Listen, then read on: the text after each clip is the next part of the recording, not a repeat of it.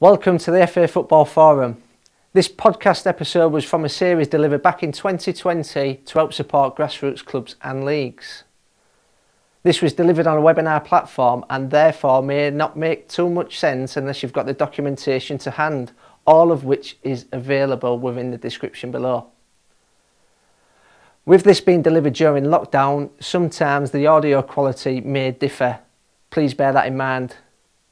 But as always, if you've got any questions or you've got any inquiries in particular to this episode or any other episode, please reach out to us by emailing clubsprogram at thefa.com. Good evening, everyone. Welcome. I make it eight o'clock, so we will look to start. I know a few people are joining us um, at this moment in time, which is fantastic. So I'll let them guys trickle in. They won't miss too much in the first couple of minutes as we uh, we do our traditional spiel. So, like I say, welcome everyone. A um, bit more of a, a wet and miserable uh, evening here in Essex, and I, I, believe it's the same around the country. Um, but no worries, we are definitely here to brighten up your Wednesday evening. Um, looking at the topic of community engagement, which is our second webinar uh, of a four part series. And tonight we will look at the ways in which you can begin to understand the power of your local network.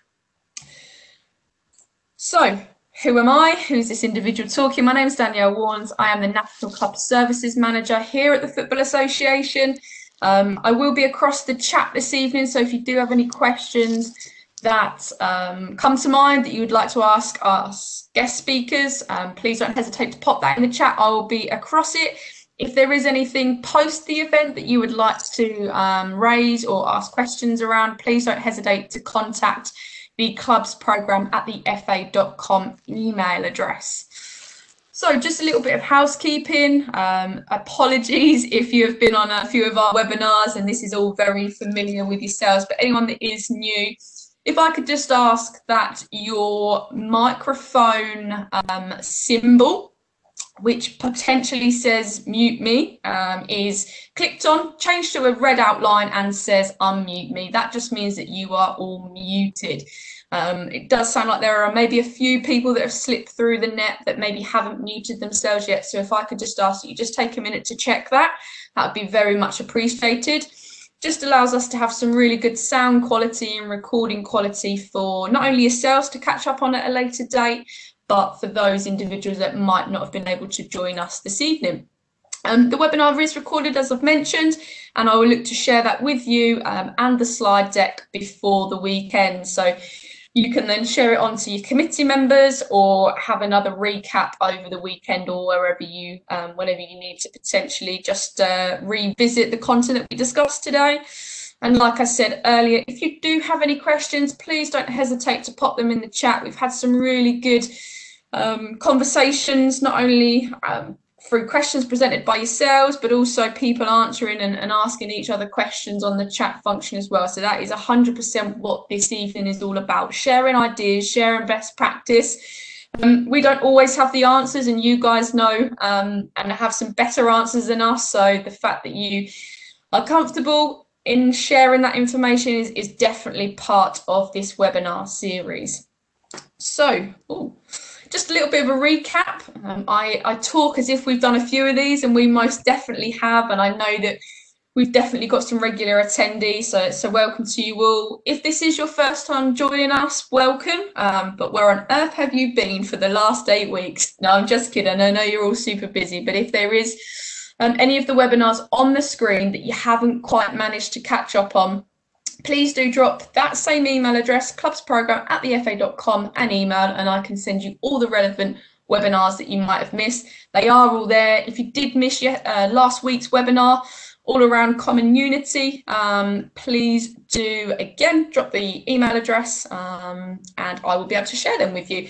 The link at the bottom is just our dedicated clubs and leagues page on the fa.com. There is relevant case studies on some of these topics that you can see on the screen now. So it's just another way of sharing that information um, in a different way. So, as I mentioned right at the beginning, this is the second part of a four part series all around community engagement. Last week was an overview all about the community. um, and what common unity you may have with with your neighbours. Um, tonight, we're going to look at the power of your network and the individual skills. Next Wednesday, we're going to look at relationships, um, education, and institutes. And on the finale, we will look at places, spaces, and faces. So, for those of you who joined us last week, you know that it isn't myself that leads this. It's very much led by Russ, who is one of our FA Club consultants. And Russ, I will hand over to you to kickstart off the second part of the four part series. Thank you. What a, what a lovely introduction there. Uh, hi, folks. Thanks for having me back. If you were here last week, welcome back. If you weren't, nice to meet you. I know more than just you know a minute who I am. So as I am there, um, I'm, I'm Russ Smith. I've worked in community with coaching, with clubs, with sport development, really for the last 20 years in various settings. And this kind of series shares some of the underpinning principles to what I might have come across or seen or, you know, helped out in the last kind of those times with football. Uh, currently, I sit as a committee member for a league called the Stourbridge District Youth Football League. Uh, that's in Dudley and surrounding areas. So we have about 600 clubs and teams. Uh, I work at Wolverhampton University. That's my day job. Uh, but within football, you know, I've worked within media, you know, an array of clubs from professional to West Bromwich Albion uh, as a as a coach, to committee members. I've even worked in other sports setting and helping up clubs. But all of it's been community driven, really, and some of the work uh, kind of underpins those best practices to help uh, one little picture there for you, which I'll explain for this week. If you just see in the middle, you see me with my friend. He's, he's called Abdul Kahar. And that was a club we set up oh, probably about 10 years ago called Real West Brom. Uh, and that was kind of a, a, team which which engaged different community members uh, and aligned in as what's called the restaurant league. So Bangladeshi, Yemeni, Pakistani, all coming together really for uh, football purposes, really. And my aim there was helping them to be sustainable with some of their work as they went on. Okay, so if you've been on one of my webinars before, you know I'm quite interactive. So what I'm going to do for you is give you 30 seconds to say, have you got a pen? Do you know where your chat function is? Because I might be linking in with you guys to kind of drop in and link in and drive some of the chat as well, if that's okay. So your 30 seconds starts now. Have you got a pen? piece of paper and know where your chat function is. Uh, just so that as we go through some of the stuff, you know, I'd like you to lead and link in and share your ideas if that's all right. Okay. So we'll just let that 10 more seconds go and we'll go to our next slide. And we're joined tonight by one special guest, and my other guest is joining us via the power of media that I collected yesterday. So, in other words, uh, I did a bit of a roving reporter to share some of these uh, themes of what you might hear tonight. So, that's Phil. But Steve's with us tonight. Steve, if you're there, would you like to give us a, hello, please? Hello, everyone. Hi, Steve. Steve, your club's Ashton. Where, where, where is Ashton? It's in Tameside in uh, East Manchester, East Greater Manchester. We're a Step Three club in the Northern Premier League. Brilliant. So Steve's going to share with us a little bit further down the line some of the good practice that they do in their community, linking in with those networks uh, and skills that they need. All right. Thank you, Steve. Welcome. So let's get to our next slide. So last week I underpinned what was the ABCDs of community work, and this is basically an acronym for asset-based community development. And what that what that means really is looking at the strengths that's in your network, looking at solving problems, um, looking to approach things in a positive way rather than looking at it as a this is the problem, uh, I, I don't know how to solve it. And that's kind of a good way to look at asset-based community development. Is it's an application of social capital really.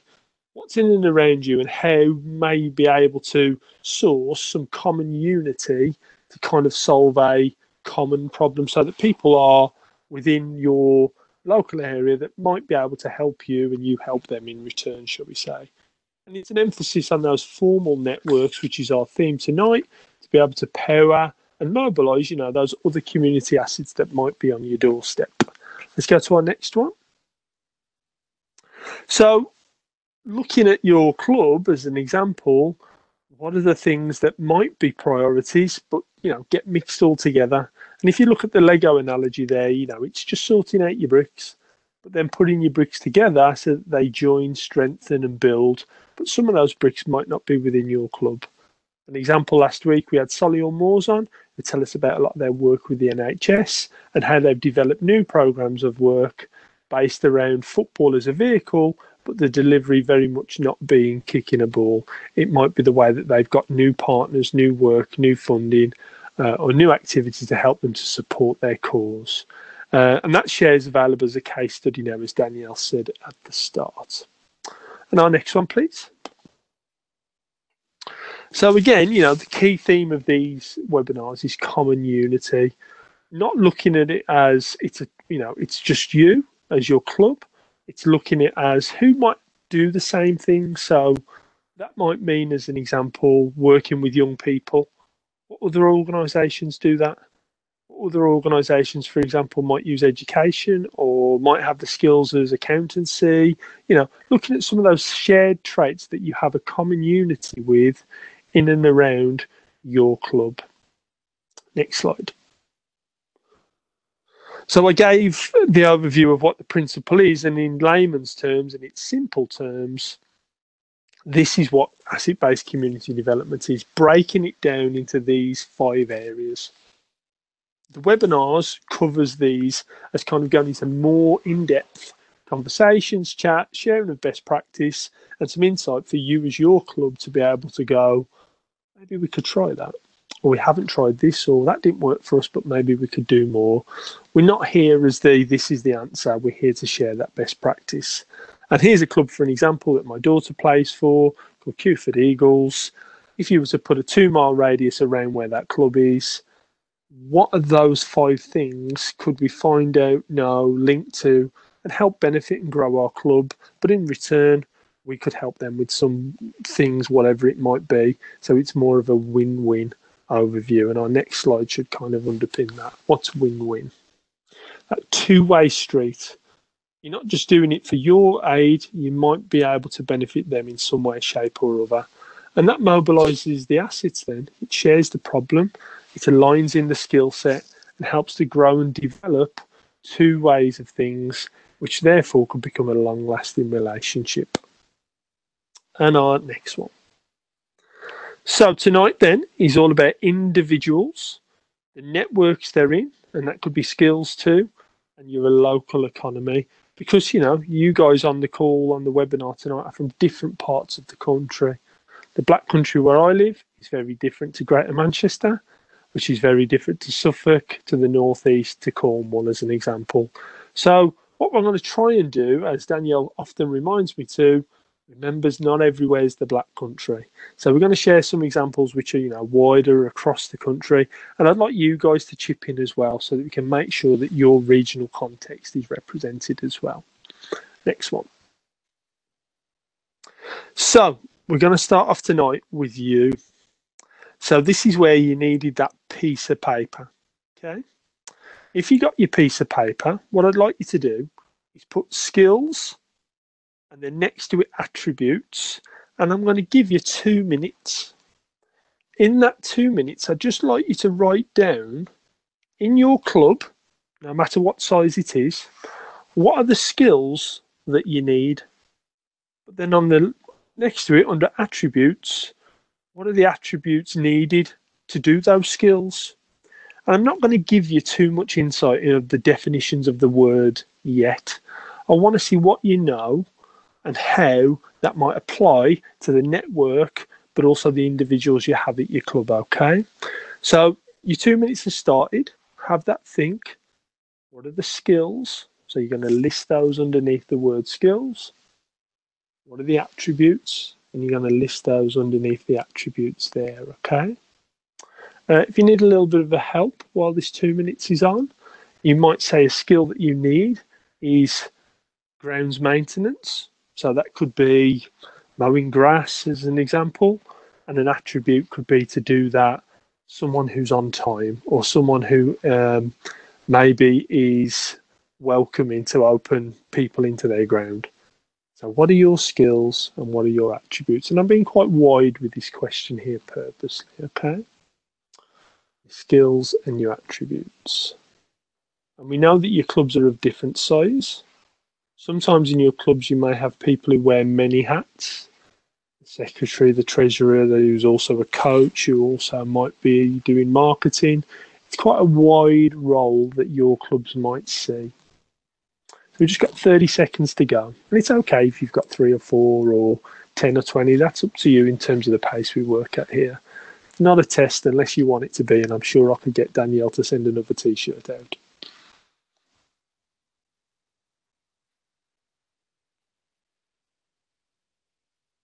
Okay, I think that's our two minutes. Next slide. So, here's an example, all right? Here are some of the skills that your club might need from individuals. This, the individual skills of accountancy, coaching, uh, administration, marketing, organising, maintenance, grounds, etc. There's a wide range of things. But the attributes is all about those personal qualities that the people bring to do those roles. So, an example being willing, enthusiastic, using their initiative, being passionate, uh, someone who understands. Because a lot of the time with your clubs and what you're doing, you're not working with people who do it for a paid role. It could be a volunteer, volunteer, could be a young person, uh, it could be a, a parent, as an example. All right. So just in the chat box, based on the task I just gave you, would you mind sharing with me something that you think you noted down? So, what, what was a skill that you think was really important at your club? What attribute is needed to do it? All right. So, in your chat box, if you wouldn't mind, maybe just popping one in, one that you think is a good example to share or showcase from your club, the skill that's needed, and the attribute that would help to do it well. Okay. So I've got a couple of things coming in. I'll just start to read them out just so I know. So we've got um, winning workforce. Okay, so administrative skills. Steve's with media, driving enthusiasm. Yeah, you need someone you know who's enthusiastic about that stuff. Safeguarding, personable. Yeah, great one. Health and safety, but they didn't put an attribute down. um, someone who cares after someone with empathy. Yeah, great uh, a mediator, yeah, so someone who's you know might have a balanced view, coaching, someone who's passionate, great. Let's have another look. Fundraising, someone who's a people person, okay, great. And one or two more. Groundsman who listens, yeah. I could tell you many a club who tells me differently, but yes. Um, brilliant. Okay, so we've got some good overviews there of what your understanding is of what the skill is and what the attributes are. Okay, now they're very different, aren't they, for some things? And some of my experience has been that sometimes you need someone who's professional to do the skill. And an example being in a large club, doing the books isn't easy, is it? Treasury skills or the accounting. Sometimes, you know, if you've got the wrong attribute or to link to the skill of doing it, sometimes it becomes a bit of a problem. And having the right skill set linked with the attribute is really important of what is in your club. And we all relish and you know really value volunteers, but sometimes we have the wrong volunteer maybe in the wrong place.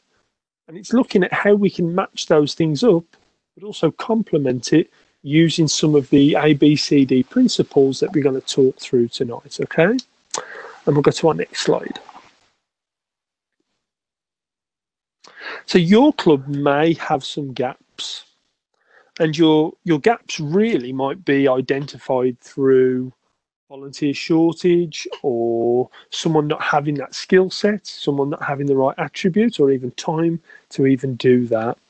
And I'm pretty sure a lot of you have heard, oh, I haven't got the time from your committee or from a volunteer or from someone who's in your club. Pretty sure you've heard that. Give me a yes if you've heard that, because I normally say that sometimes when I'm asked to do extra jobs with some of the clubs that I have. Yeah, we've got lots of yes going on there, okay?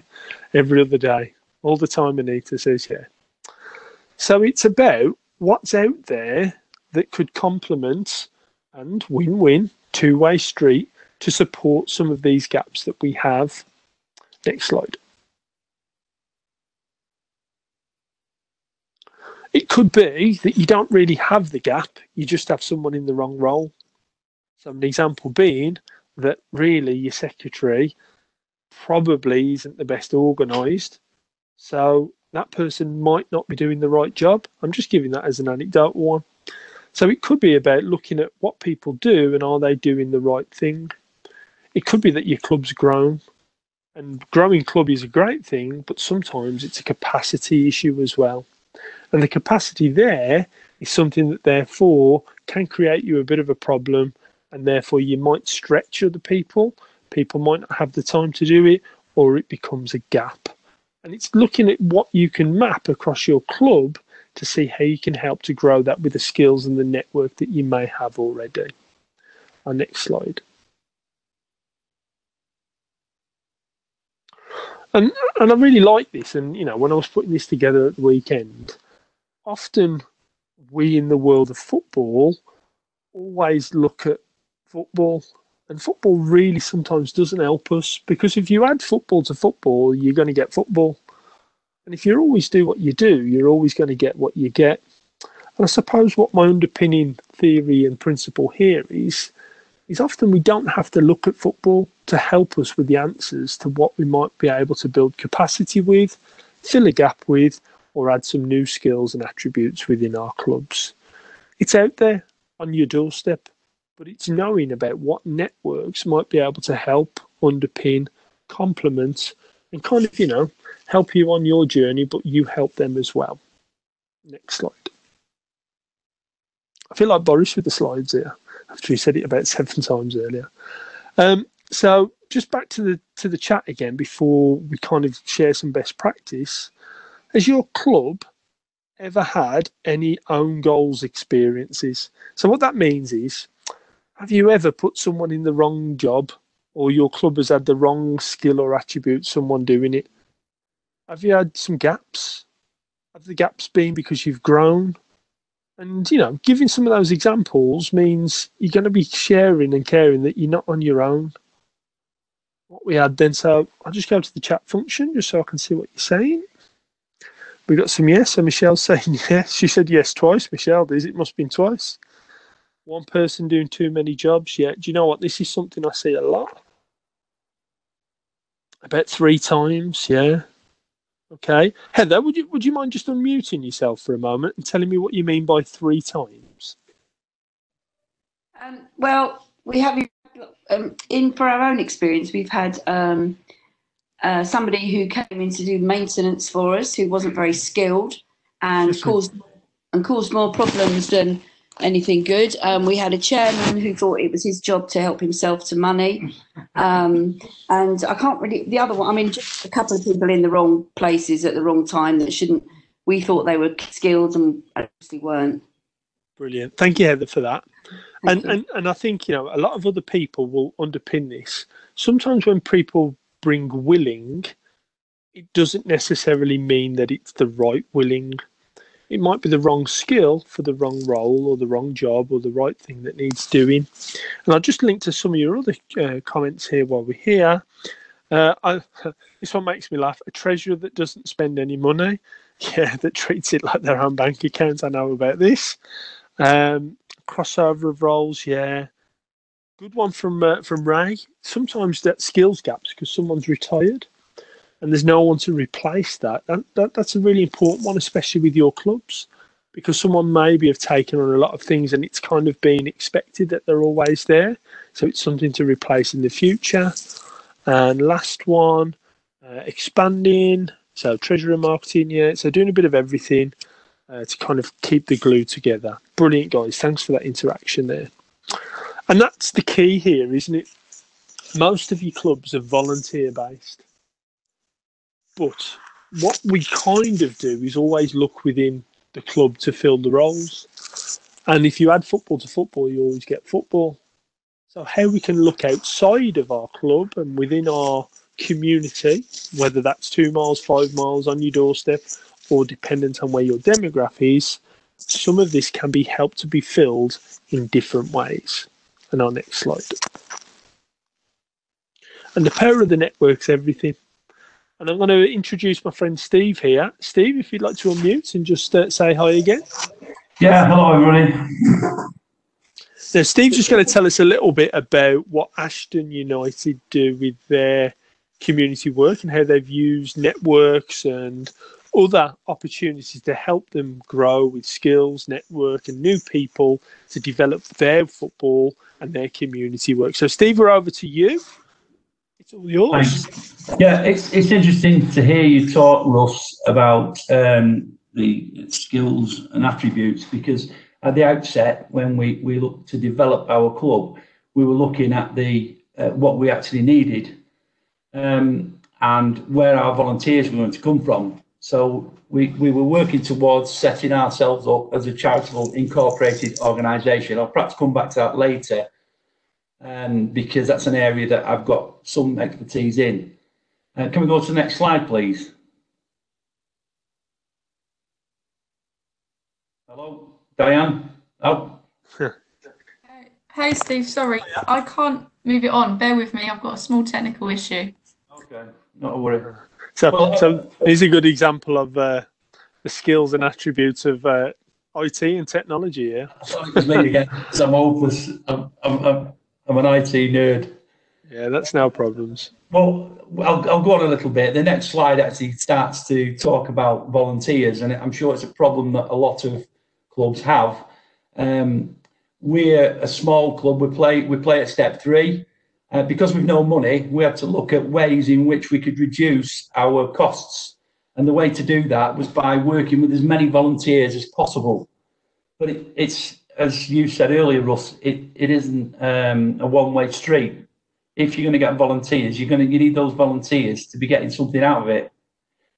Now, we have 70 plus registered volunteers across the club um, comprising of students who pick up roles in media, um, marketing, developed us um, with uh, filming matches, developed us with um, work around the ground, doing raffles.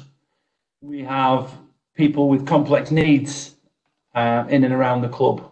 These are people who are unemployed, lonely, isolated, learning disabled, people with mental health issues we have family members. These are family members of players, um, family members of coaches, um, and, the, and wider. We have supporters who want to help us out as volunteers. We have team members. Some of our players want to get involved in the club in one way or another. We get neighbourhood support. These are people, these are families who want to engage with the club who might not want to be involved on the match day, but may want to get involved in organising events in and around our social facilities. And we have other organisations who um, get involved in and around the club. Now, what I'm describing to there is a massive network of us reaching out into the local community. But all of these people, these 70 volunteers, are getting something out of their volunteering. And that's absolutely critical that your volunteers feel valued and they're getting something out of uh, being engaged with the football club. The club are getting fantastic return on it, but we've got to make sure, as Russ said early on, it is a two-way street. He talked about having people in with different skill sets. From that group of 70 volu- registered volunteers, you can imagine the skill set that we can tap into across those volunteers because we record who they are and we also record what their skill sets are. Can we go to the next slide, please? In the early days, to get these people together and get the volunteers involved, we set up what was called Fest, which was a free, um, it's a free summer festival held on our football pitch, where we invited anybody and his dog that wanted to come along and do something on the day. All the charities to display what they what what they wanted, um, people to sell things, any entertainers that wanted to come and entertain, and we created a family fun day that was free for local people. It was important that that was free because the area where our club is situated is in the top 2% most deprived in England. So our local people have got nothing. But they will, what they have got is time uh, and effort. And by creating this, this Hurst Fest, we were able to provide for local people something that they've, that they've never had. Um, so, and I say it was it was free to come as well. By putting this event on, we were able to tap into grant funding because it was free. So, for example, and you can see how, how this fits. Um, in, for the first test, first fest we put on, we managed to secure thirteen thousand pounds to put that event on from grants. Uh, we made an argument to the funder that because we were having up to 2,000 people on our pitch for a festival, for health and safety reasons, we needed a fully functional PA system. So three and a half grand of that went on a PA system on the football pitch. We bought cones, bibs, barriers, um, all sorts of uh, radios for stewards, jackets, all to put this festival on. So the correlation there is that local people got this fantastic event that's now been going for four years for free and the football club got out of it what they wanted in terms of kit and equipment that can be used beyond the uh, the festival. Can you move on next slide, please? Here we've got some examples of the outcomes. If you're going to invite people to get involved in your football club, they want something out of it. So well, we had two asylum seekers come to us, Ken and Timothy. Ken and Timothy had been had escaped from Uganda. They were two homosexuals who were persecuted in Uganda, and a family member, in fact, was actually killed because they were gay. They came to England, they had nothing when they started, and they came to us and said, We want to learn about England, English culture. I can't tell you how good these two lads were. Their, their skills in in uh, in Uganda, they were both they both from a banking background, and um, no, they weren't the ones that send um, email addresses, uh, emails to everybody asking to put 10 million pounds in your bank account, but they were genuinely from a banking background. So we worked with them for 18 months, uh, integrated them into the club. They became part of the family. And we've now got both of them jobs in the banking industry because they've been accepted to this country. Um, students, we've got three students, Michael, Abby, and George, came to us as students to do our media for us. They ran the the they wrote program articles for us. They ups, uh, kept our website up to scratch. They filmed matches. They provided content for programs, all sorts of stuff. Michael is now the media manager for Oldham Athletic.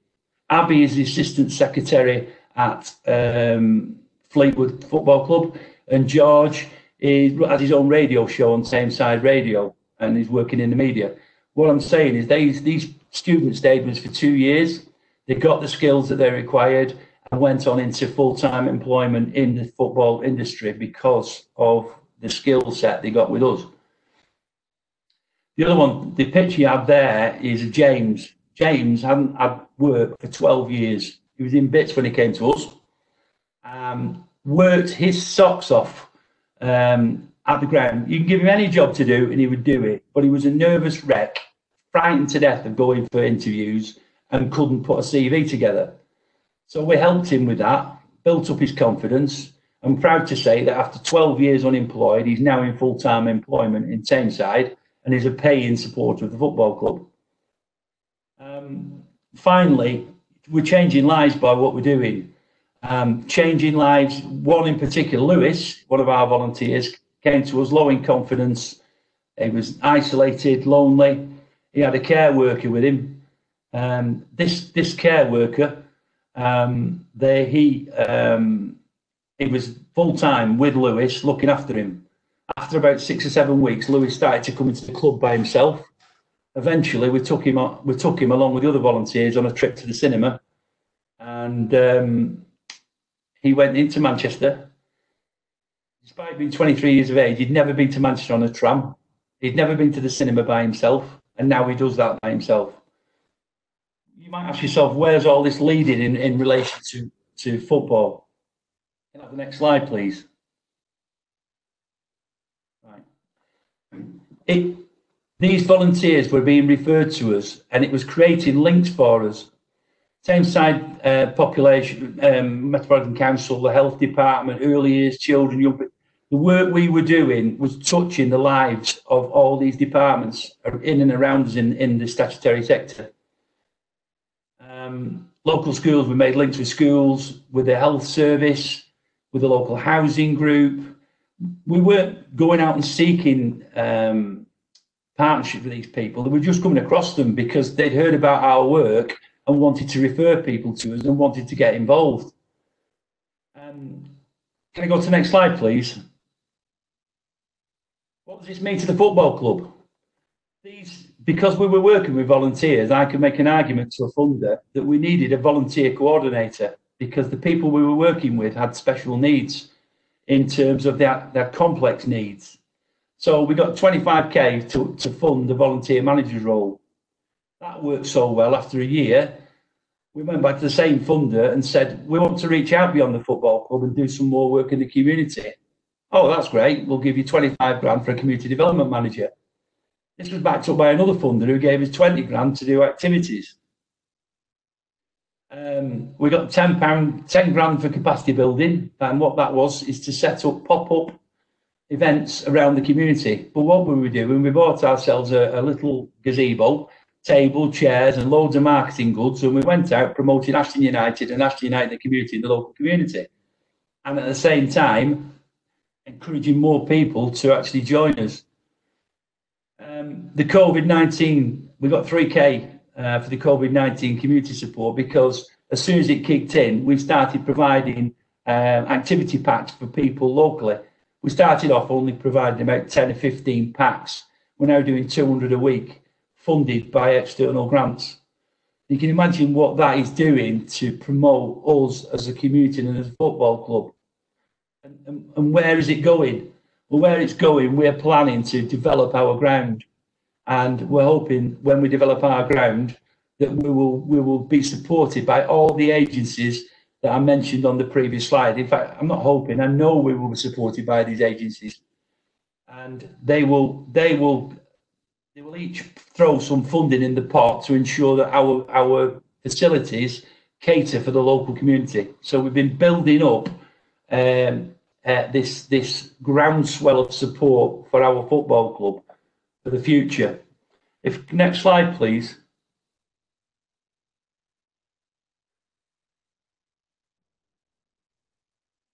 I've got that. Yeah, right. Okay. So the what, what and how does it help the football club as well? The charity. So we've got the charity and we've got the football club.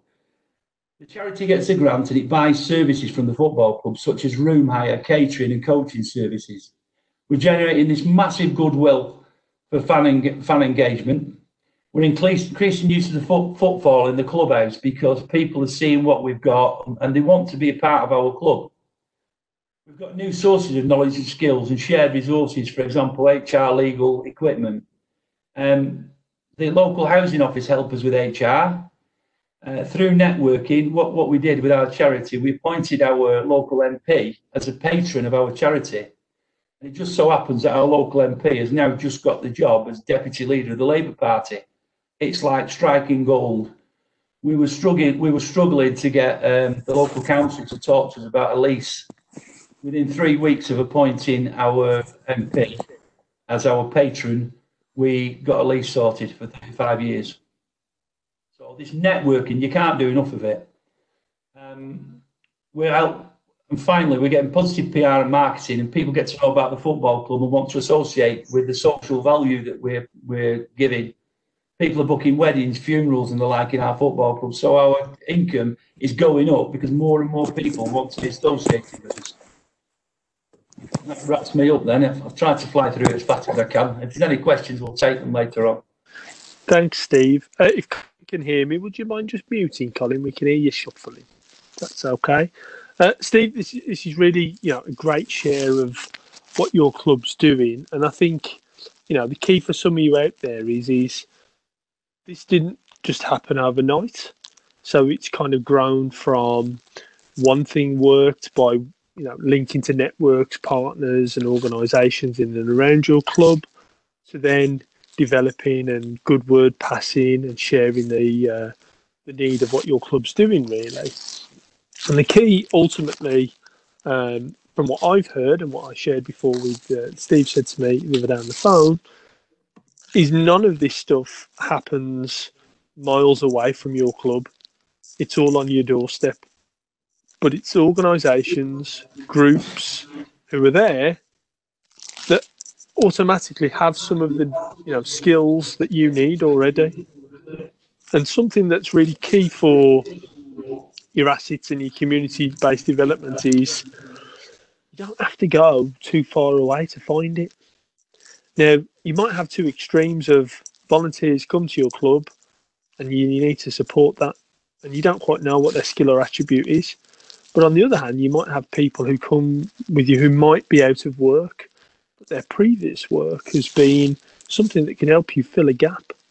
Students that might be looking to fill um, a role, and you know, an example the club my daughter's in, they've got a great marketing officer at the moment. She's she's a student at a college, and for her work, it's kind of linked to many outcomes, but really help that club because this person's a bit more savvy and driving forward the marketing.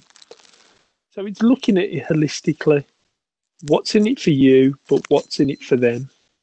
And previous clubs that I've worked with or developed and grown with, I noticed that one of the questions was, what do you give volunteers?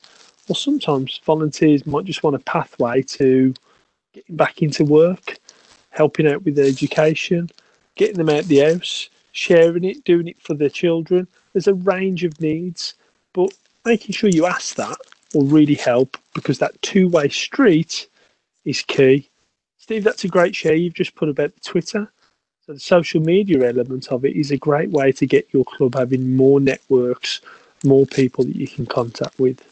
We're going to come back to Steve a little bit later with a couple of questions. Okay, we've just got a couple more bits uh, to link through on this theme, and then the floor is going to be yours. All right. So before we go to Phil, uh, I'll give you the context here. So Kewford Eagles is a club in Dudley. They have around 45 teams.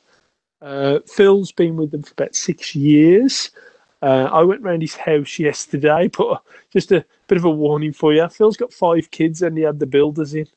So if there is a little bit of background noise and kids asking questions, etc., just bear with us that I was in his garden and he was doing his best looking after his five kids aged between one and 11.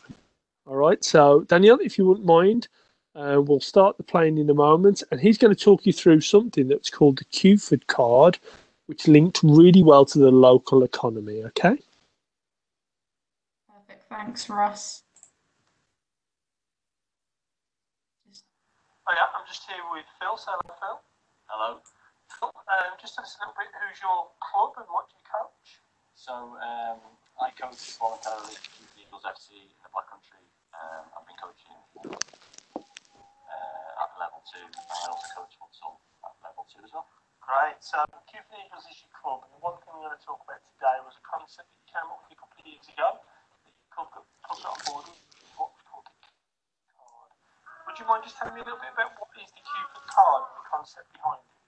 Yeah, the Kewford card is um, it fits in your wallet. It's um, uh, it costs about 50p each to make. We made probably about five or six hundred of them. Um, and the reason we made the Kewford card uh, was threefold. Uh, the first one, we wanted parents to fill out a form um, so we could get their email. So there was a big data capture part to it. So we, we felt we had 500 members of our club and we didn't know all their email addresses, we didn't have all their uh, parents' email, maybe aunties and uncles who came to watch the kids. Guys, I've just paused it. A few of you saying that you, it's hard to hear. Let me just turn up the sound um, on my computer. Ross, Yeah, was I it hard for you to hear as well? No, I could hear, but I turned up my sound. So I, I have my earphones in, so I don't know if that helps. Um, but it was turned up on my sound. Yes, I, I understand it's probably not the best because we used an audio file here, but it's only about three minutes, folks. So Cool, perfect. Thank for us. I've just turned it up, everyone. So hopefully um, that's a little bit better. If you can just turn up the uh, the volume on your computer, that'd be really useful. I can't reply to any messages in the chat because it does turn the sound off. So I'm just going to let it play from here. She says. Oh yeah, I'm just here with Phil. So hello, Phil. Hello. A bit about what is the Kewford card and the concept behind it. Yeah, the Kewford card is um, it fits in your wallet. It's um, uh, it costs about 50p each to make. We made probably about five or six hundred of them. Um, and the reason we made the Kewford card was threefold. Uh, the first one, we wanted parents to fill out a form um, so we could get their email. So there was a big data capture part to it. So we, we felt it, we had 500 members of our club and we didn't know all their email addresses. We didn't have all their uh, parents' emails, maybe aunties and uncles who came to watch the kids. We had these um, families visiting Kewford Eagles uh, every week and we didn't have all their emails. So we thought if we release a card, we can then data capture um, and have an email, and then we'll follow that email up with newsletters and you know, club information, etc. So the catch was, if you wanted to get a card, you had to give us an email address. So that was the first reason for doing second of three reasons was to um, uh, help with re- recruitment. So um, uh, and also the third reason would be retention. So obviously, if your son or daughter plays for Kewford, they get a nice little green Kewford card on on signing. Uh, it makes them feel part of the club, gives them a little bit of loyalty to Kewford as a brand. So, uh, you know, this this was launched in 2016, 17. At the time, Kewford had uh, 56-ish coaches, and it had um, uh, about 35 teams, and they weren't really one team. So we just tried to pull the club together, uh, and the Kewford card really helped uh, as an initiative to just give that sort of uh, a little bit of loyalty to the, um, the parents, the, you know, the managers, the coaches, the players and it just helped. Um, what what subsequently happened was we, we upgraded the way we collect subs, and we ended up getting everybody's email address. So the data capture part of it uh, became less important. So in the end, became more simple. Whenever we had a new team create at under seven, uh, all the parents got a Kewford card each. Um, so, so those are three reasons. Uh, the first reason was uh, data capture, and then the second reason was to help recruitment and help with retention. Uh, as a perk of the card, obviously, you've then got four, five hundred, maybe six hundred families uh, with a card, so they could go down to the local uh, restaurant or DIY store, or um, we've got a foot golf centre next door to the Eagle Park place where we play, and they get ten percent off uh, or twenty percent depending on the size of the party. Um, and that went down really well. Yeah, so it's all volunteer uh, led at Kewford. So obviously these initiatives are all reliant on people to um, drive them forward. So you need to do a little bit more than just produce five or six hundred credit cards. You need to actually drive the whole project forward. Was there um, some part of it, so when you were getting the initial data back, did it allow you to see what maybe parents' jobs or businesses want to kind of add to the? Yeah, yeah, we did. Yeah, we um, we did a couple of surveys at the time to help um, uh, and some of them were, you know, what do you expect from a Kewford coach type questions. Um, and then also a little bit of data capture about you know um, wh- whether they were interested in volunteering, uh, you know what sort of work they did. Um, but generally, the data capture part of it was about um, trying to find out who our parents were and then talk to them through a newsletter. So uh, email, uh, WhatsApp, Facebook, all those things kicked off around the same time as the card. Um, and as I say, the local business is quite receptive to it you do need a volunteer to drive that um, on an annual basis. So, um, it does need it does need managing once you've set it up. Um, but as I say, you know, if it comes. That's all right, Danny. You can end that there if you want. I'll uh, I'll just uh, link it in if that's all right. So yeah, so, sorry about the audio there, guys. Um, but you know, hopefully you get the gist there. But if I kind of tell you the, the bits of it that kind of helps and links to this theme here. So the data capture was the key bit of the Kewford card. So if you want a Kewford card, you just got to give some details. But what that really helped Kewford to do at the time was see what jobs parents did. So looking at the skills, looking at the attributes of where you might have gaps, it was a dead easy way to aligning of, well, actually, that might be something that a parent of someone at our club can already do. On the other hand, it was a way of using a card for retention. So, in other words, here's my card, but you could use it at local businesses then, but not local businesses where you might have just sent letters out. You were local businesses of actually of parents of your club. So you've all probably sent a letter, an email, and had nothing back in the past. Well, this was an easier way to go directly infiltrating from inside out.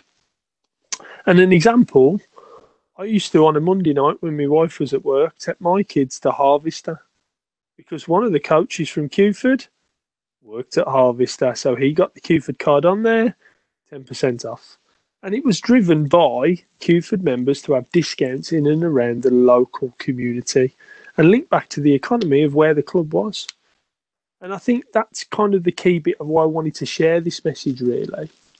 Your club will probably have already within its network that you might not know about some of the skills and some of the gaps and some of the businesses that can really help you to develop or sustain or grow. It depends on what you're doing. The concept of the card was just an easy win of getting that in your hand easier because once it started, people wanted to know, where do I get my Kewford card? Where'd you get it from? And then word of mouth spread. Other people get the card. I'm getting a discount at Foot Golf, or I can take my family to the Indian restaurant for cheaper. I can go to the bike shop, whatever it might be. Local economy that was driven for by current members already, but it's knowing that because the data collection that you might tend to get in your club already is just about player registration and emergency contacts. It was looking wider than that and spending 30, 40p on a card, updating it, but then every time a newsletter went out, here's where you can use your Kewford card was an easy way to generate more business links and aligning it back into how you can link in with those parents that might actually be a job, a card that could link into a place of discount if you needed it, or a potential sponsor or funder, but aligning in locally to where the club is. Okay, hopefully I've given that value there as well. I've still got my Kewford card in my uh, in my phone wallet, so you know it's something that's quite a simple thing to do, but we can align in a bit more back in the questions when we get there. All right, next slide, please. So your networks are everything and where your club is, some of the big networks which you might not be aware of, I've put on here. So every local authority area will have a voluntary sector council. And that's something that's across the whole spectrum of care, sport, uh, social work, economy, business, where like Steve had went through in his presentation, you can be referred people to help you within your club, maybe for the skills that you need. And it's something that's quite simply to join if you don't know about that. A Google search straight away with your area and voluntary sector council will help you to find the contact in the website of who's there. Uh, active partnerships used to be called CSPs, and last week uh, I went into those a little bit more. But additionally, every um, local area, so county really is how it looks, has an active partnership. And sport wise, they're kind of tasked with getting more people active, helping out local business economy through inactivity uh, and aligning in through other people to help them to achieve that strategic aim. So, where I live, Active Black Countries are active partnership but there's one in every county of England. So if you don't have a, um, a relationship with them, Google again active partnerships, you will be able to find your local one. And not many football clubs link with them. It's predominantly historic that they link more with the other sports clubs or with leisure trusts as an example, but you're just as eligible as anyone else with the work that you're doing. Becky last week from Solihull Moors spoke to you a little bit more about your Chamber of Commerce. So looking at you know that network of business or that network of how you can align back into growth and the economy within your local area. Again, like the other two, they have regional versions of it. A quick Google search will get that. And often they do what are called networking activities. You know, during this period that we're in at the moment, that might be digital, but obviously, you know, when things might change, they do do breakfast, lunches, you know, things that you can turn up to and align back into what your club might be to kind of fill some of the gaps that you need. And the NHS trusts and foundations. This is a really big one for you, especially post COVID 19, to just have a relationship in for your club because I mentioned last week about social prescribing, and Steve's mentioned today about people with complex needs. There's going to be, you know, a big a big amount of need for people to have sport, exercise, volunteering, as part of an offer to help us with our country and getting us back, you know, into a way of operating as normal. But there will be people that need opportunities. Some of these people may have been unemployed or lost their job as part of this, but it could be a stepping stone back into it.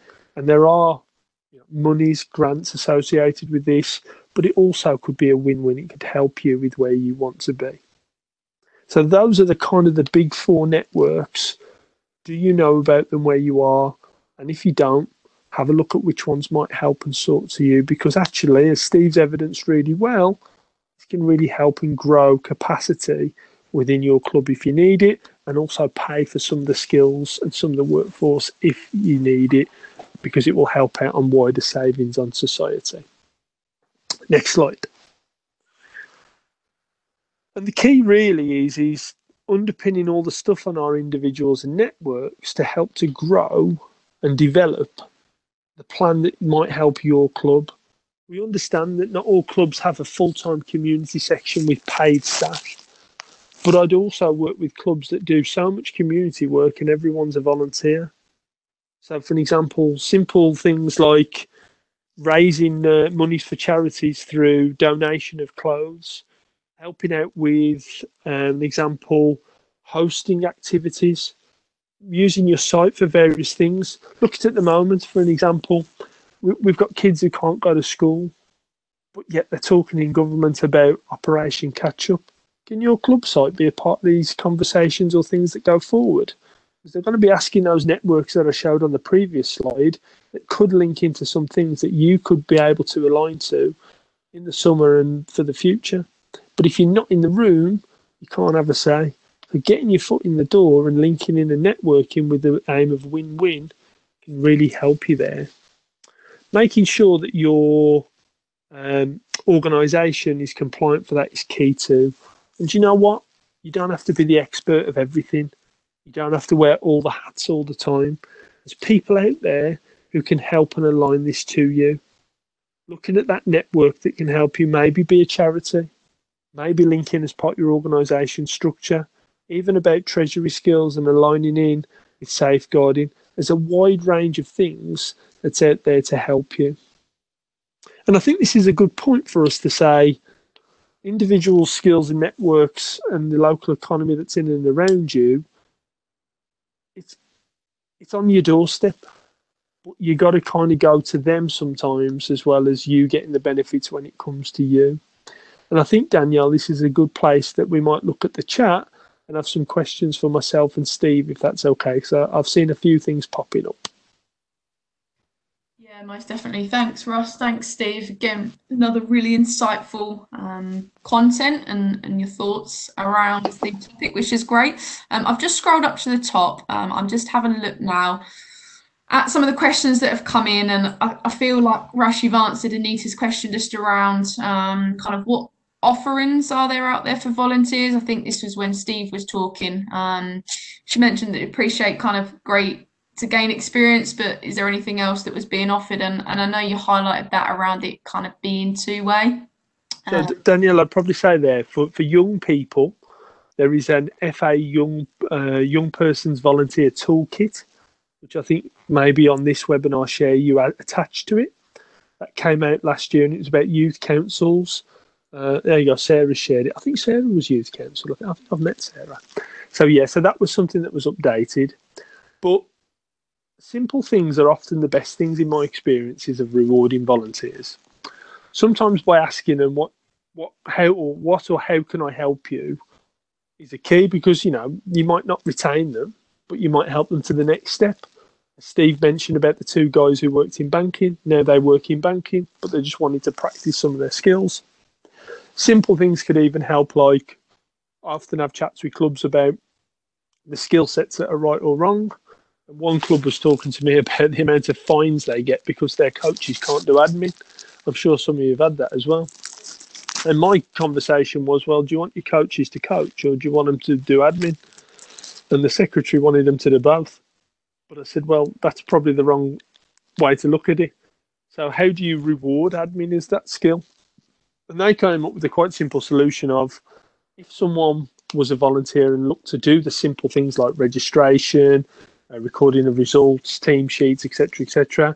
They got a discount on subs, or they might have got a coat, or you know, some simple things that were easy to administer, but were probably with a better skill set to do it.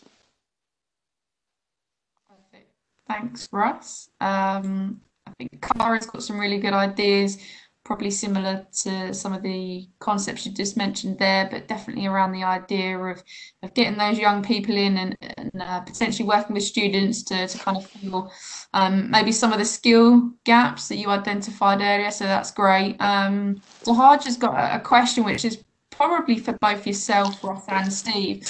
Um, I think this was when Steve was talking. You mentioned a few different funds that you'd managed to, to secure. Um, were they local? Were they national? Um, be good to get an insight on that because obviously funding is, is a big topic for clubs. Dan, sorry, Danielle, you broke up then. What? What? You asked me a question about what? Sorry. Yeah, sorry, Steve. So Tahaj just asked just around um, some of the funding that you mentioned. Was it local? Was it national? Or was it a bit of both? Some of those partners you a mixture. A mixture. The local housing association, um, they uh, are very good. They've got small grant pots, five hundred quid here, thousand pound there.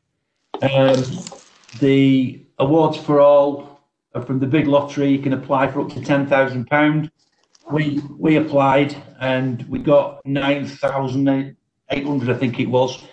We did, um, and with that funding, as I said, we did the pop up events, but we also applied for funding to um, take all our volunteers away, uh, all our trustees away on a business planning weekend and get some support from an external consultant to draw together a business plan. And it just so happened that what we did at the start of the of the event, we did a benchmarking to see where we were. So we had held an event where we brought all our interested part, all our interested stakeholders together. And it just happened to be that it was uh, a, a, one of our home games for the football club. So we hired the sponsors lounge for the day to put this nice event on for people which killed two birds with one stone. The funding paid for a sponsorship at the football club, but it was cheaper than going to a hotel down the road, and, and it enticed people to come in and talk to us about what they wanted. We got some new volunteers from that, some new trustees, and then we brought a consultant in, in who worked with us on business planning, and we went away for a weekend to do on a business planning exercise. Um, and and th- there is funding out there for this kind of stuff. It's just knowing where to go for it. Um, the, as I say, Awards for All was one. The Health Authority, because we were working with so many people with complex needs, I went to the Health Authority and said, look, you know, our people in and around our club haven't got the skills to work with these people on an ad hoc voluntary basis. We need somebody more more permanent. And the, the NHS says, yeah, we agree. You've got some good outcomes. We'll fund you. They gave us 25k. So it's there, but you've got to start somewhere. There's no point just saying we want some money. You've got to prove that you you know that you can actually do it, you can deliver it, and that means a bit of legwork at the outset by you know working with you know working with people and putting some time and effort in. I think um, I'm going to answer one of the things that was just popping up while Steve was talking there. Um, so I think the question was about do you use professional bid writers, etc. Well, if you go back to my comment about the networks that you're in. All the data for most of the things of your demographic of where your club is already exists. And active partnerships, for an example, will be able to show you and tell you the demog sorry, the geographic area, the ethnicity breakdown, local economy, health, um, educational status for for your club for your area. Um, and if, for an example, you're in these networks, it's really easy for you just to ask for this data and get it for free. And this then will help to align uh, what is your need. More importantly, help to write that bid for you.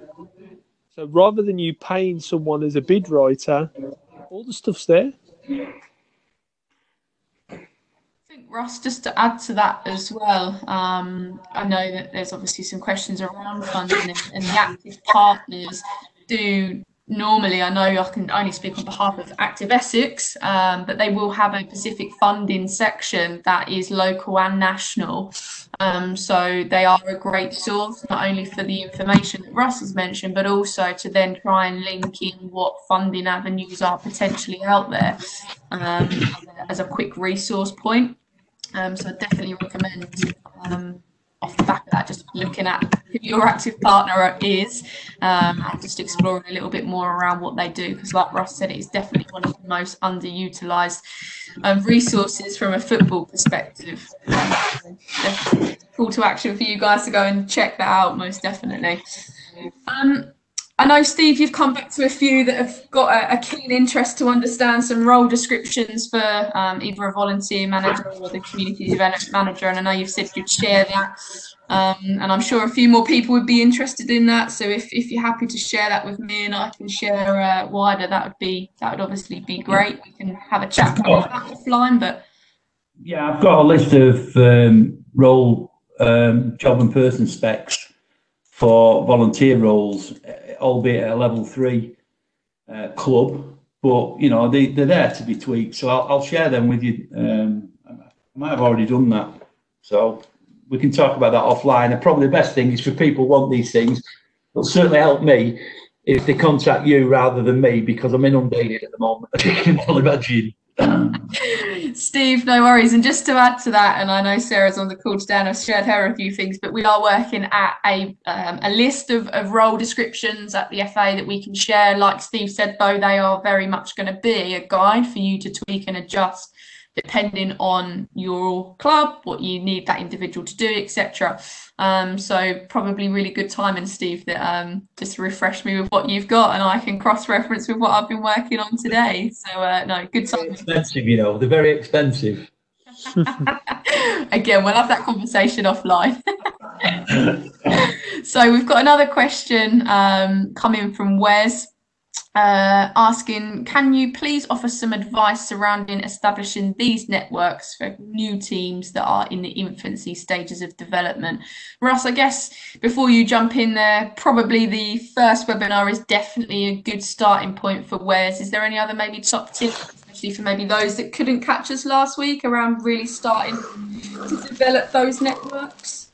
Yeah, I mean, dead simple on your phone, Google Maps and type in what you're looking for. So it could be, for an example, show where my club is and the nearest schools or the nearest um, accountants. It will it will help you map just some of the things that you're looking for a bit easier. And then you've got that kind of way up of what do I need? How do I do it? As Phil said with the Kewford card, data capture you you you know you, you customers. Um, Steve, can I just ask if you muted Steve because it's just a bit of background noise off you, pal. Sorry. It's all right, pal. Um, so just use that data capture tool as you can. So one of the things I often help coaches and clubs with is if you've never used it before, Google Forms don't half save you some time because by utilizing a simple data capture mechanism, you're not constantly going back to people. And going back to people um, sometimes is annoying isn't it? Because you think oh what do they want now but think about the data capture that you want and that you want to design. Parents role what's their job could be as well with their school. Simple details that can really help to build the picture that will help you get your community work underway and widen uh, the web. Steve you've got something to say as well yeah, you don't have to do all this work yourself. There are community champions out there, people who are community activists who have all these networks. If you find the right kind of community champion, have a conversation with them. They'll do all the legwork for you, and you can concentrate on your football and your football club. That's what we did. I have a, a community champion that just unlocks every single door that I want un- unlocking for me. She's worked in the community for 30 years knows everybody. So I just made her my new best friend. And she's running around everywhere for us. And we're saying, well, if you need any support from us, let us know. And we'll use our charity status to um, attract funding for you to do your work around the community. And we both get a win win out of it. Well, it's three wins because the community gets the win as well. And, and your voluntary council will have community champions. So that might be the first port call if you don't, you know, if you don't necessarily know who that community champion is. There are these roles, and there are community activists out there who are passionate about where you live and your club is, and you can just help and aid and twin it together. And as Steve said, it's going to be a win-win. You get a lot of the stuff on your doorstep that they know that you can help them with, and they help you with. Brilliant. Thanks, guys. Um, a really good comment from uh, M. Seymour, uh, just suggesting that actually local colleges are a great source for volunteers and club placements. Um, also support their, their course programs. Um, I know there's some changes in the education program coming in, and we probably won't talk too much on that now. So we've definitely got a whole hour and a half next week, but definitely a really good comment there. Look at your local educational establishments, and we'll certainly talk in more detail David's looking for a reliable um, building contractor. So if there's anyone on here that can help David mm. that'd be great. Uh, David, probably some of the comments that the guys have shared around looking at your local networks, looking at those that are involved in your club that might help. You've mentioned around um, your changing rooms. I definitely suggest contacting your local county FA to see um, how they can support as well, especially as it around a, a, capital project. They may be able to uh, to support you with some of your thinking around that. Danielle. Yeah, I'm just, I'm, I'm just going to make something aware about that. So, yes, definitely with your with your facilities, Football Foundation, County FA. But something I got to know about a few years ago was something that was called Section 106. So you might have never heard of this, right? I might be talking gibberish to you. But the reason why it's good for you to know what Section 106 is if you've got people building new houses in and around your footprint of your club, Section 106 is some leisure facility spend that has to go back into the in and surrounding area for community facilities. Now, there is a growth of new house builds and affordable properties across England. It's a government strategy. So, if that is something on your doorstep, it could be something that potentially could help you match fund as well and look to develop what you might have uh, as part of that. So just remember that section 106 it's a it's a law it's an act that any new building of properties has to invest back into the local community into some leisure facilities good information there Russ good information um Dahaj has got another a really good really good question actually um, and it's all around how clubs can protect themselves against maybe recruiting the wrong volunteer. Now, I don't know if you've experienced in your time, Russ, that. I know that people were quite open and honest at the start to say that they might not have the right people in in the right roles, possibly. But what what are maybe some of the steps that, that clubs and leagues can do just to protect themselves to, to maybe not go through um, uh, a, a long-winded, maybe difficult process if they have potentially got the the wrong the, the volunteer that may be in the wrong role um, or might not have the right skill sets that might just need to be kind of repositioned where somewhere else in the club. Have you got any kind of experiences yeah. in that, Russ, or good, some good ideas? Um, I, I think I'll go first. I'm sure Steve's got something to add as well. So, really, so if I start with young people, so if you're some of these roles or gaps or skills you're looking to do with uh, young people, often it's a bit of a, a period of let's just have a bit of a like with your mortgage and your phone contract, a bit of a let's see how it goes before we continue it any further, like a cooling off period, should we say. But I think the better you can find out why they want to volunteer, the better volunteer you're going to get. Don't just always jump in with a this person can breathe you're on the committee. Because sometimes you're going to get that wrong skill set in the wrong role and end up with the treasurer who don't spend his money. You know, different things that are not going to help you. Getting to know them is a really key thing. And I'm not saying you're the, you're the best friend and you're around for dinner and all that, but finding out why is a really key thing to help and aid that. And Steve, you know, I'm going to hand over to him about the role descriptors, really. And sometimes that's a little bit of help to guide you when things might not go so well. I think what, what you need to do is don't just, when a volunteer rocks up at the door, just say, right, oh, all my prayers are answered. I want to use this person. I've got a gap here. Let them, let people grow into roles and try if you can have a hierarchy. You know, a new volunteer comes in, they start out trying a few things, find out what suits them best. And rather than just keep volunteers in one role all the time, rotate them as much as possible. Because if one drops out, then you're succession planning for that particular role. Really good point. Especially new, or you might be working with um, referrals from uh, various charities or organisations. That wider skill set can be kind of learned together, and it could be that you have you know you might design for your club a pathway like a roadmap. So once you've done ten hours, then you might be able to do something else, etc., etc. Something that can therefore be clear and concise because volunteering is the two-way thing again. The volunteer might think that you're the wrong organisation for them. So it's a, an easy way to kind of map it, rotate it, but develop both with a win-win attitude.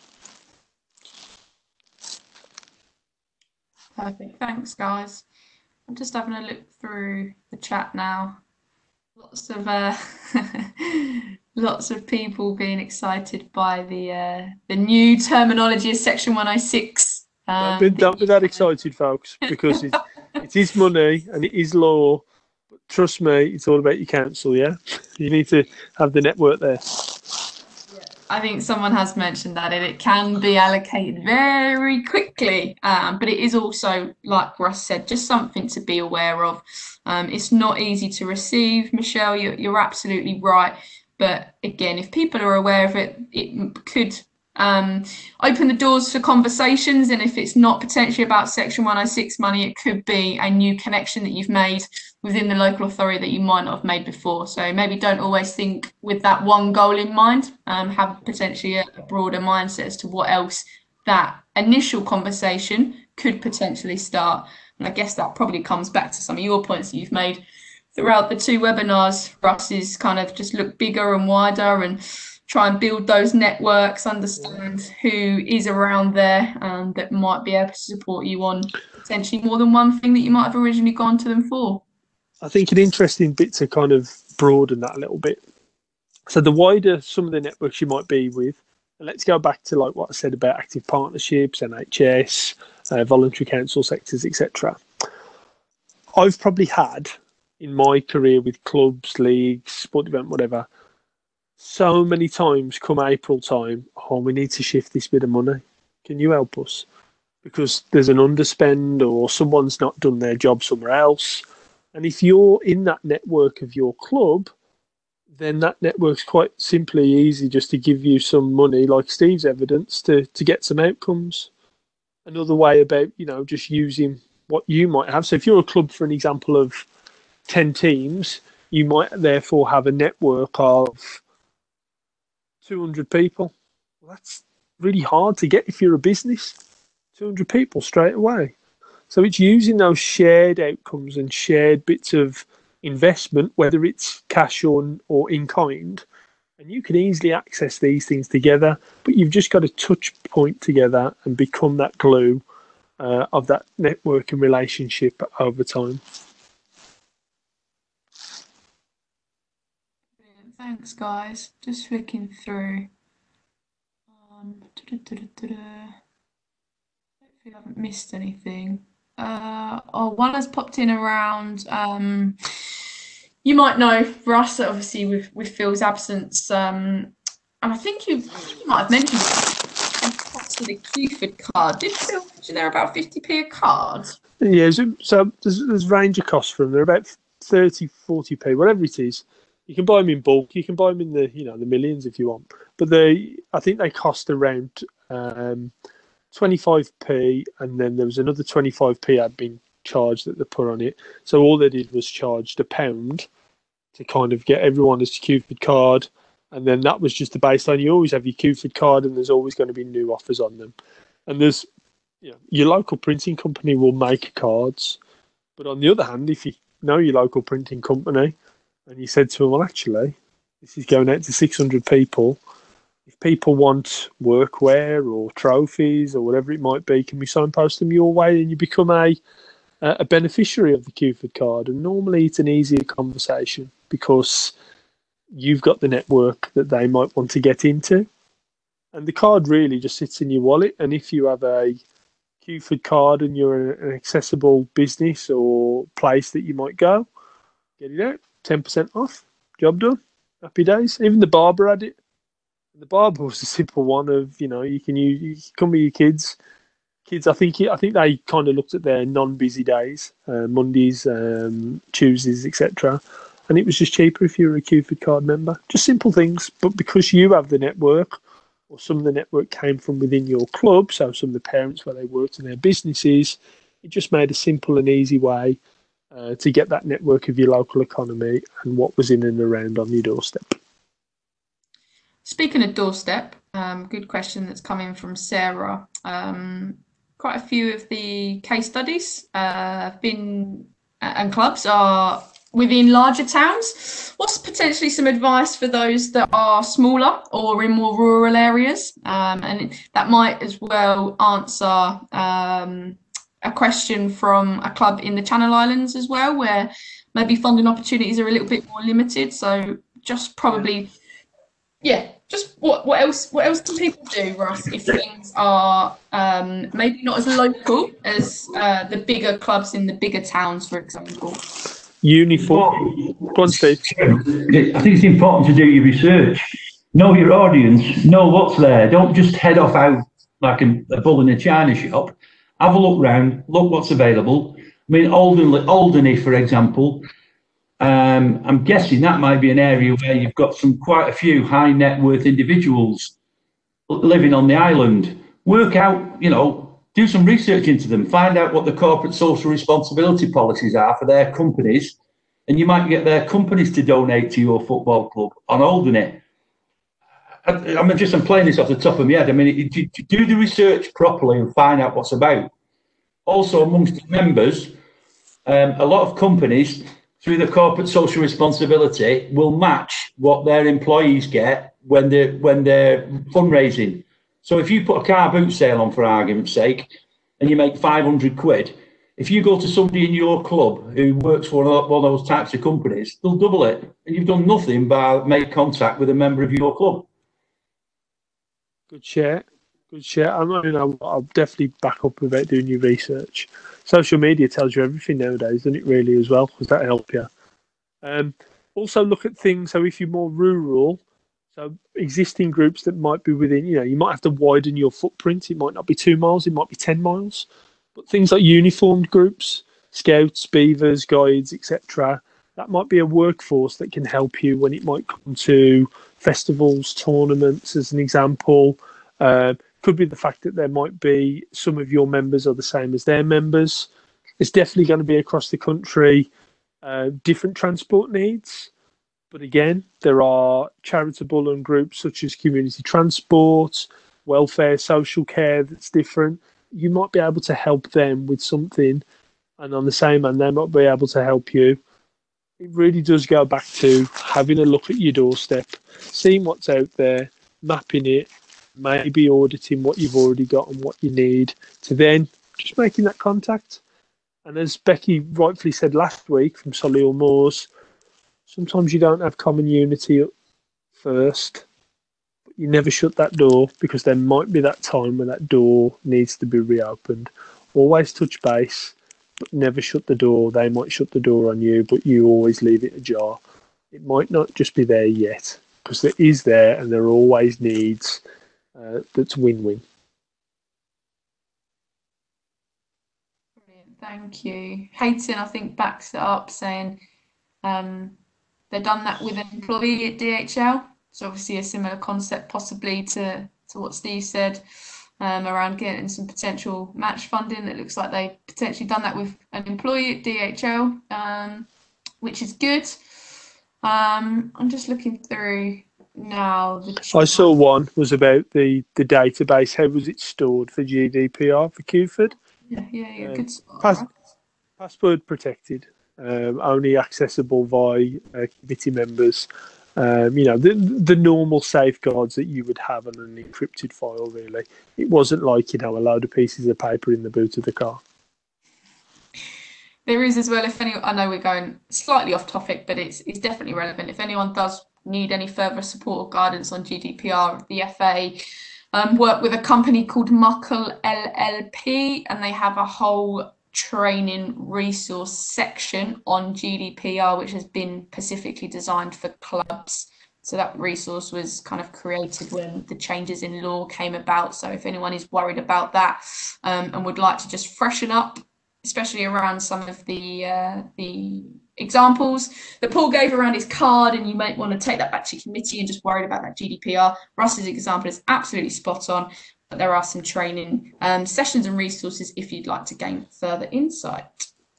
Just to share one club that I came across about two years ago, and it's not in the Black Country, you'll be happy to know. It's in the Northeast. Uh, they were called Newcastle East End.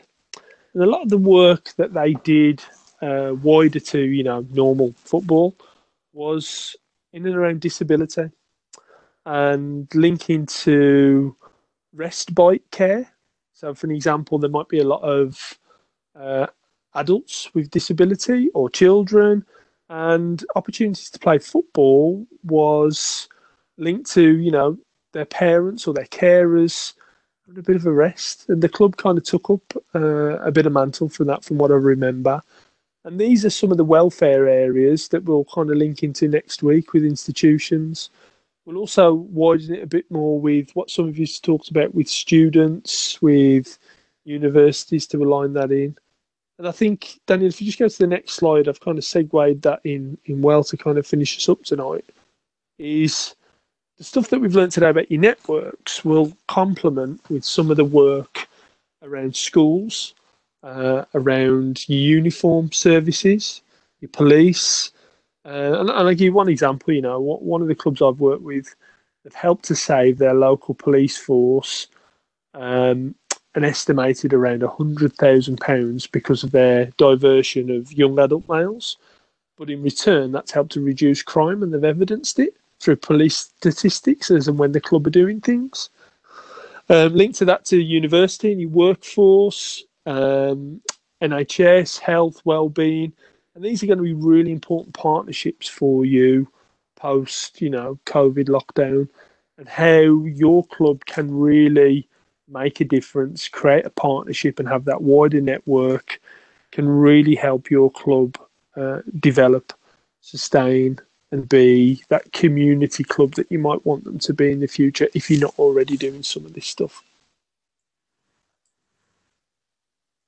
Brilliant. Thanks, Russ. Um, it looks like the majority of questions in the chat have come to an end, which is brilliant. Um, it just leaves me to say, Russ, Steve, thank you ever so much again. Steve, thank you very much for your insight. It's so important that we get a club to give their perspective. I know Russ has got some fantastic knowledge and has been in and around clubs in the grassroots environment, but it's always um, just as important to have you on there. And, and I can only thank you for joining us, and I'm sure everyone will uh, join me in thanking you for the insight you've given. It's very, very useful. Russ, again, thank you very much. Much appreciated. Um, mm. For your support, we've definitely done this slide around questions, but if there is anything that does pop in to your minds, um, when you try and shut off to go to bed or you have your coffee tomorrow morning, please do drop clubs program at thefa.com and email, and we will look to answer that as soon as possible. If you have joined us this evening from a league, our grassroots technology tech team, very, uh, very wordy, but these guys are absolutely fantastic. They will be doing a series. Um, of webinars all around full time. So if you have joined us from a league, um, this evening, there is a link at the bottom where you can register for the upcoming um, full-time webinars. And going back to what we're looking at next week, Russ, I think we've mentioned this a few times, but just in case anyone didn't capture it, we are looking next week at how you can build relationships with education establishments in your community. So the majority of you, scanning the uh, sign up sheets already signed up, which is fantastic if there is anyone else from your committee or someone else you know that this could be of benefit to, please do share the link um, that you have already registered with to them so we can get as many people on next week's webinar as possible.